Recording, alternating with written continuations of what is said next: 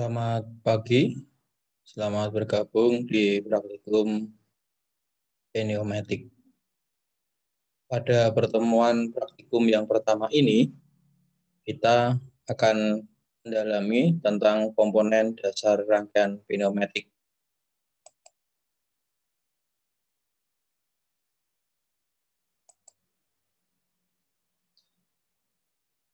Sebelum kita mendalami tentang komponen-komponen, kita perlu tahu dahulu klasifikasi dari sistem pneumatik.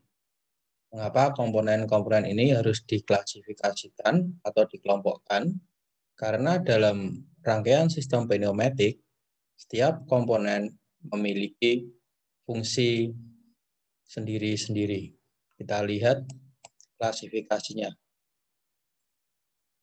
Dalam rangkaian pneumatik, komponen dibagi menjadi lima kelompok.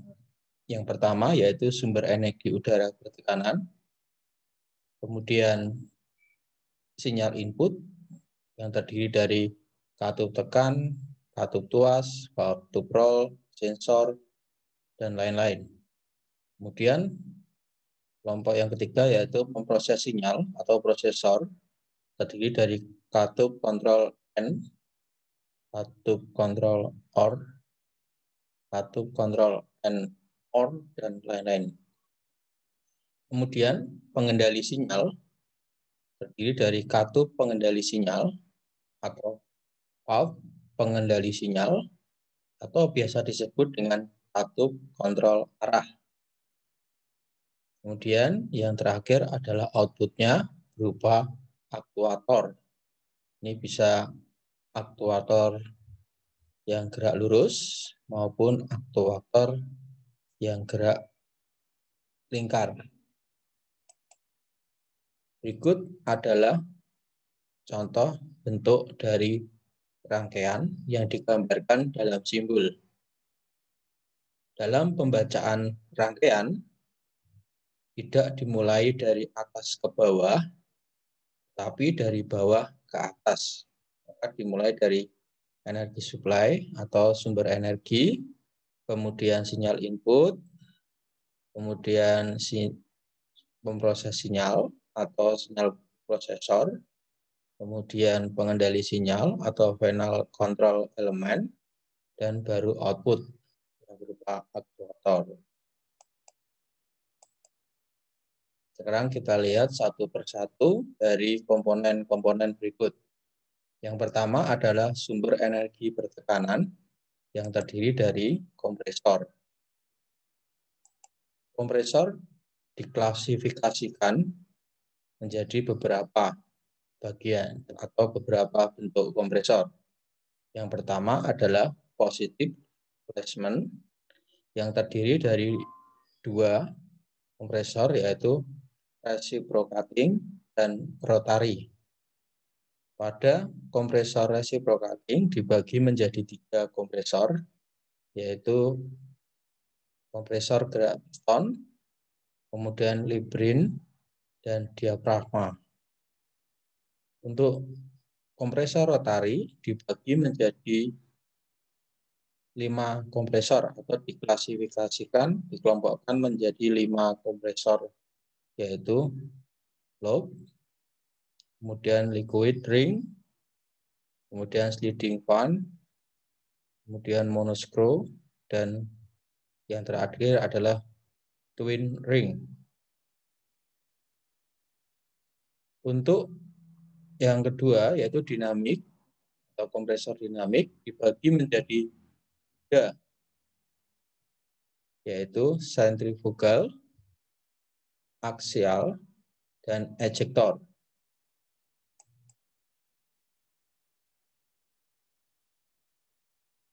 Berikutnya adalah Air Service Unit atau unit pelayanan udara. Air Service Unit terdiri dari satu saringan udara berfilter, yaitu alat yang digunakan untuk menyaring kotoran atau debu dari tabung kompresor dan juga berfungsi memisahkan air yang telah terkondensasi dari udara mampat. Dua, pressure regulator. Berfungsi mengatur tekanan udara yang akan digunakan pada sistem pneumatik. Ketiga adalah pressure gauge, yaitu alat yang digunakan untuk mengukur tekanan udara. Yang keempat, yaitu lubrikator yang berfungsi menyalurkan minyak berupa kabut. Pada bagian empat ini biasanya digunakan untuk rangkaian pneumatik yang besar. Ini adalah bentuk dari air filter atau saringan udara. Dan ini adalah bentuk dari pressure regulator.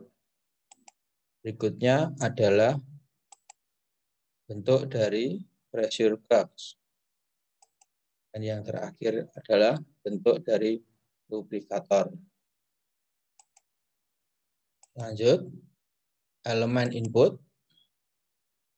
Elemen input berfungsi memberikan sinyal untuk diproses.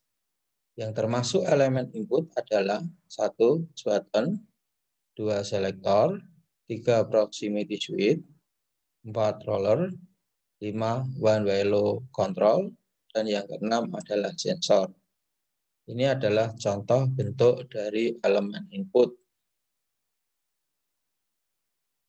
Ini yang di push button, kemudian ini adalah yang roller dan masih banyak lagi bentuk kalian bisa searching di Google.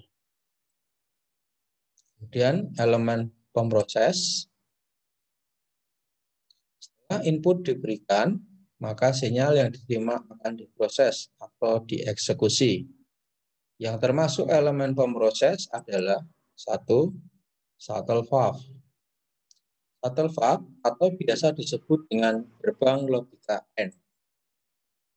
Gerbang logika N jadi input yang diterima elemen haruslah memenuhi nilai satu satu. Jika tidak, maka elemen ini tidak akan memproses.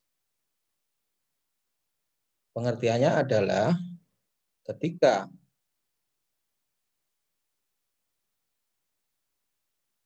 elemen input, ya, elemen input itu hanya ditekan satu, maka shuttle valve tidak akan berfungsi. Tapi dua dari elemen input harus ditekan bersamaan. Maka shuttle valve akan berfungsi. Dua, dual processor. Dual processor atau gerbang logika OR bisa terpenuhi minimal sedikitnya salah satu kondisi satu terpenuhi. Jadi bisa satu, nol atau satu satu. Jadi inputnya bisa ditekan satu atau dua-duanya ditekan. Berikutnya adalah time delay. Time delay adalah komponen yang berfungsi untuk mengatur waktu tunggu untuk proses selanjutnya. Ini adalah contoh dari satu valve.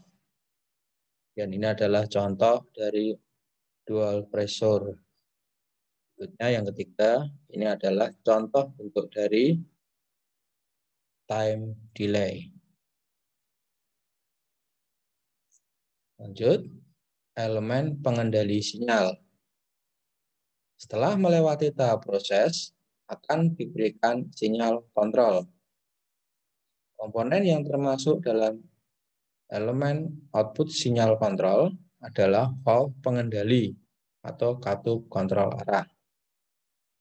Ini adalah beberapa contoh dan masih banyak contoh lagi. Yang pertama yaitu 3 per 2 well valve. Ini artinya di dalam komponen ini ada dua ruang, yang kemudian di sini ada tiga masukan Bentuknya adalah 5 per 2. Sama, ada dua ruang, ada tiga input. Ya. outputnya. Kemudian sama 5 per 2 wave double pilot. Kita akan dalami lebih lanjut di pelajaran sistem robotika. Yang terakhir adalah elemen output atau elemen kerja. Elemen kerja merupakan elemen akhir yang berfungsi sebagai elemen gerak pada rangkaian. Dan termasuk elemen kerja antara lain single acting cylinder dan double acting cylinder. Yang ketiga adalah rotary cylinder. Nah, bedanya antara single dan double ini terletak pada katup input outputnya. Kalau single cylinder ini hanya ada satu, di mana di dalam tabung ini ada pegasnya, sehingga dia akan kembali ke posisi seperti ini ketika tidak ada udara dan bekas itu akan mengembalikan pada posisinya ini.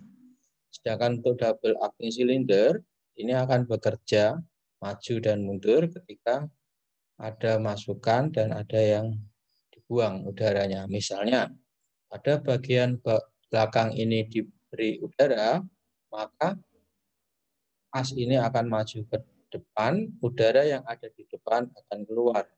Begitu sebaliknya ketika udara masuk dari depan ini, maka as ini akan mundur dan ini akan keluar. Lalu untuk yang rotari, ini bergerak melingkar atau memutar. Ada bermacam-macam, ada yang 45 derajat, 90 derajat, ada yang 180 derajat, atau yang 360 derajat. Ini juga akan kita dalami nanti di pelajaran sistem robotika. Demikian yang bisa saya sampaikan pada pertemuan yang pertama ini. Semoga bisa manfaat dan juga bisa semakin memahami bagaimana proses dari rangkaian sistem pneumatik. Terima kasih dan sampai berjumpa kembali pada pertemuan berikutnya.